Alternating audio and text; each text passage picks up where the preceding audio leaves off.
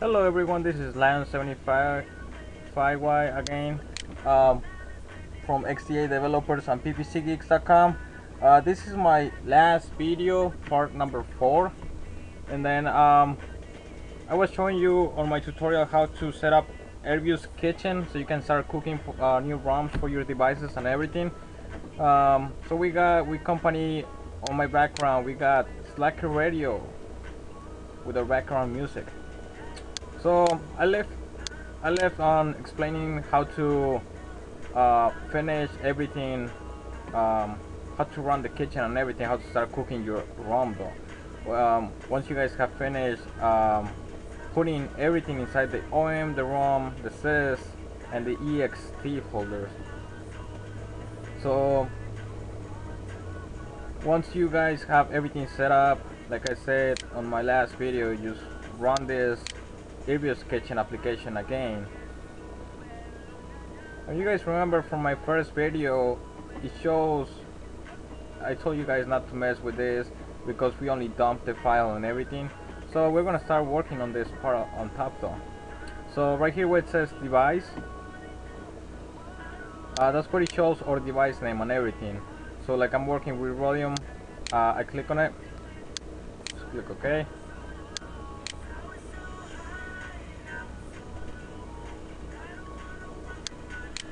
And then it comes up with all our packages names and everything. And then like I said was uh, you guys can click up here so you guys can change the six the sys and the XIP and the ext like so I was setting up my kitchen. I was working on 21901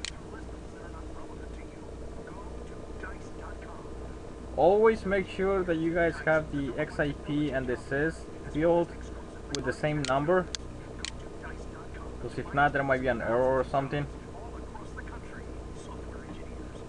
Um, right here which says ROM version you guys can put your version or you guys can put your name or anything that you guys like.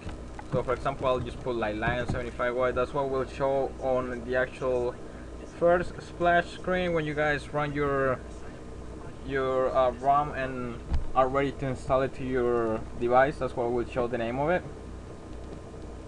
Then as you guys can see we're gonna have on by default we're gonna have XIP which is the OM OM XIP kernel and the MS XIP kernel. Um, these ones you guys um, don't mess with it. You know everything has to go into your ROM so it can be able to run.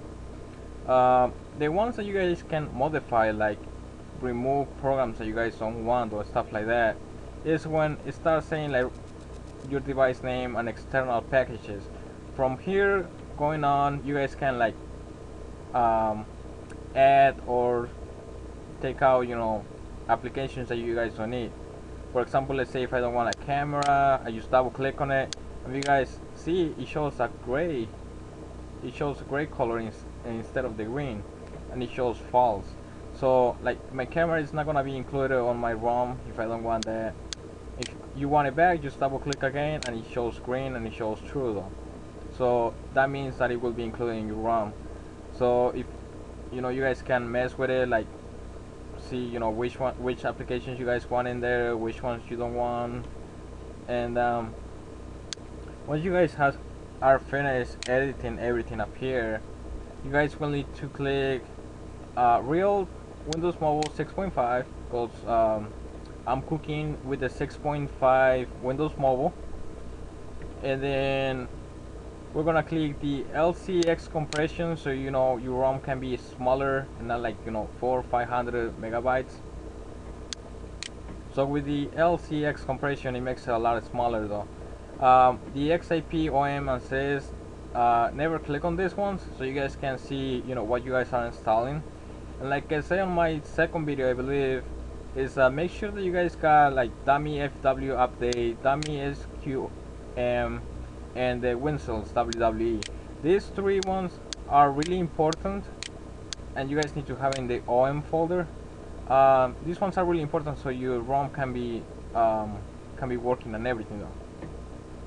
So after you are done with all this, with your um, customization with your ROM and everything, like which applications you guys want and everything, um, then you guys will need to just click create ROM and then you guys are ready to go though um, right here show you guys don't mess with this like you know device ID and stuff like that uh, in case I because it happens to me before in case that this doesn't show the device ID and the chunk number um, uh, looks like you you know you guys didn't do something right so I will suggest you use uh, erase everything and you know start over again because uh, this should show by default though.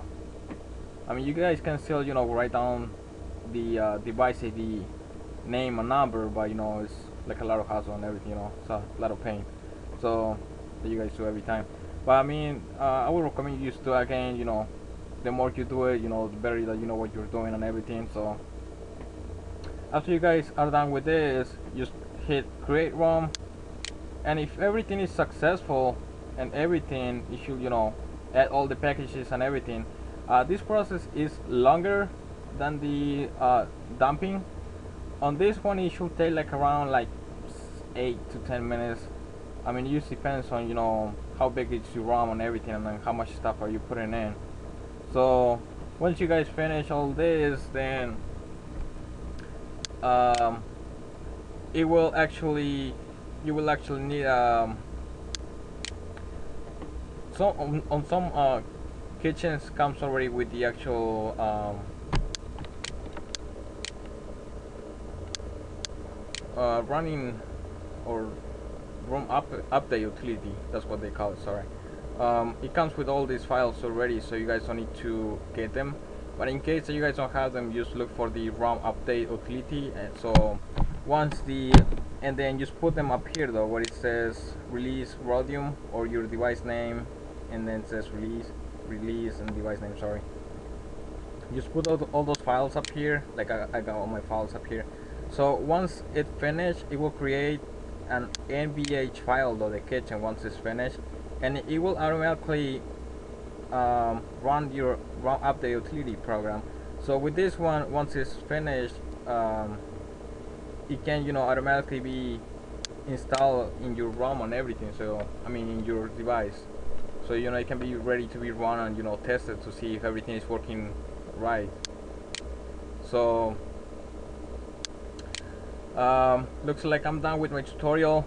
Thanks for watching guys. This is again Lion75Y from um, XDA developers and PPC geeks.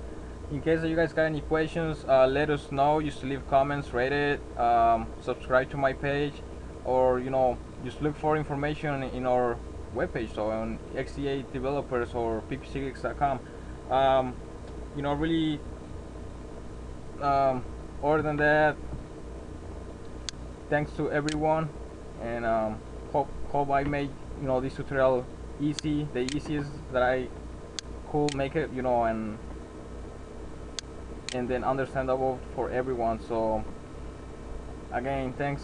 This is Lion75Y thank you. Bye bye